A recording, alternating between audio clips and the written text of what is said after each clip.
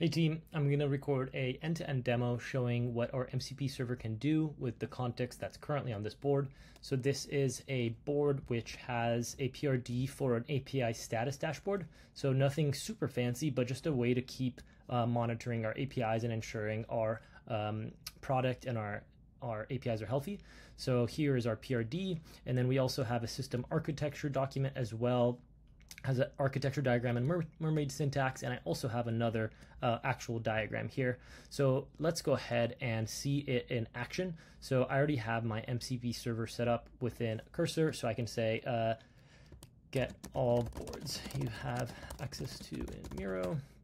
So within a couple seconds, it should call this list boards tool. And then with that, it should give me that MCP demo dashboard. There you go. Great. So now I'm going to go ahead and prompt it to start developing the app and we'll see how it does. So here is the prompt. I'm not going to bore you with this typing. I'm not the best typer anyways, so you don't want to see that. So it's going to use the context analyze tool to take the context from the board. It's going to use this board ID and create a basic app, which should be running locally on Node.js. And if the get context tool doesn't give you enough context, use the get items tool instead. So that's it. Let's see how it does.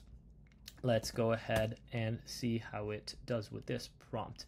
So it's going to start by doing a to-do list. So it's going to probably um, get detailed items on the board if context is insufficient. And then it's going to use create a Node.js application, create package.json, and we should see the files popping up here in just a second. So it's calling uh, get context based on this board ID, which I passed in. So let's see how it does. And then if it gets slow, I'm going to cut out a little bit of the video so you're not super bored, um, but we'll see how it does here.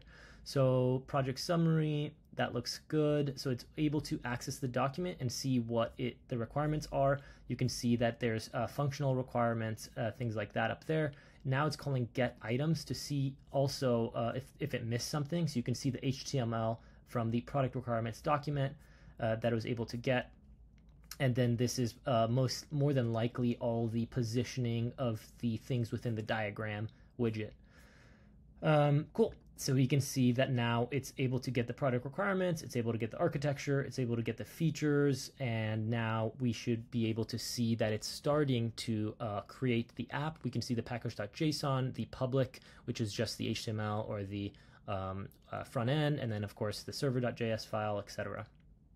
So I'm just going to auto approve all of these to see how it does uh, in the first round.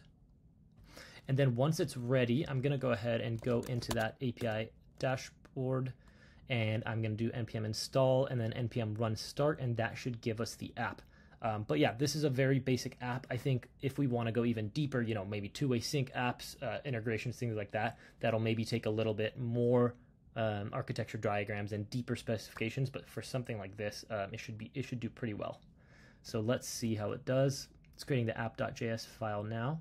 Cool, it created that and also added the CSS. Now it's creating the README. That's kind of the final uh, final little bit. We probably don't even need to wait. So let's try npm i because the README is not really that important. npm uh, run start.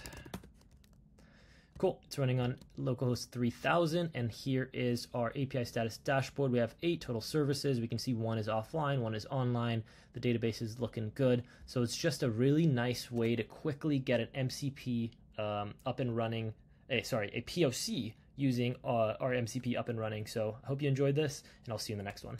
Cheers.